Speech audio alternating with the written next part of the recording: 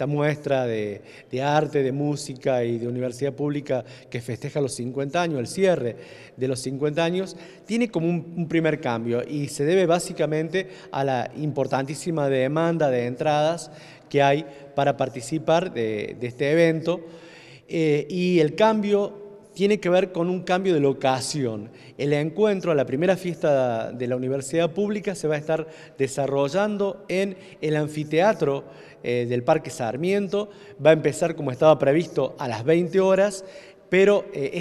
este cambio de locación nos posibilita tener mayor cantidad eh, de entradas para que puedan participar más, tal cual es la demanda de esta propuesta que, tiene como una grilla artística con artistas de Río Cuarto, de la región, y que está cerrando Rally Barrio Nuevo, pero vamos a estar iniciando con la banda Serrana de Achiras, con el ensamble de música de eh, la Casa de la Cultura de Alcira Gijena, con el coro universitario,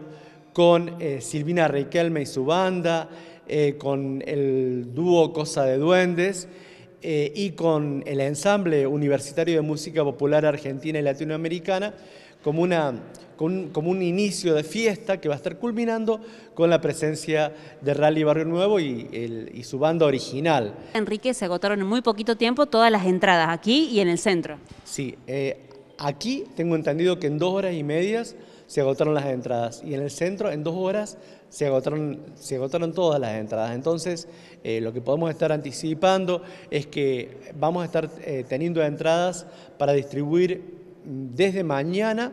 eh, nuevamente en la boletería del Teatro Municipal y aquí frente al comedor desde las 11 de la mañana y hasta las 14 horas. ¿Cuántas nuevas entradas se van a estar otorgando? Lo que posibilita el anfiteatro es prácticamente duplicar la capacidad de eh, público que tiene el Club Banda Norte, entonces tenemos la posibilidad de eh, distribuir 2.000 entradas más.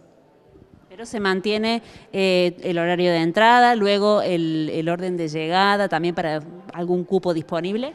Exactamente, sostenemos la idea de que la fiesta comienza a las 20, por lo cual eh, la entrada de nuevo tiene validez hasta las 21 horas, eh, donde luego quien no tenga entrada tiene la posibilidad de entrar, eh, siempre y cuando tengamos el aforo, disponibilidad en el aforo del, del anfiteatro.